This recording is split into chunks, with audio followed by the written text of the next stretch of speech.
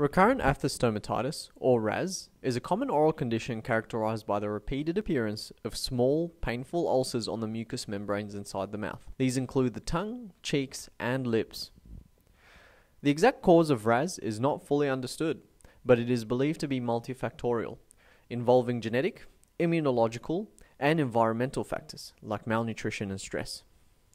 There are three types of RAS minor, major, and herpetiform.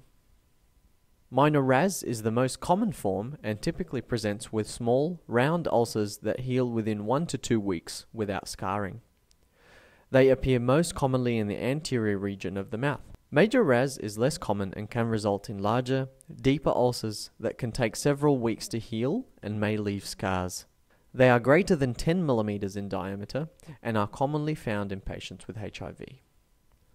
Herpetiform RAS is the least common type and presents with multiple, very small and painful ulcers that can coalesce or come together to form larger ulcers.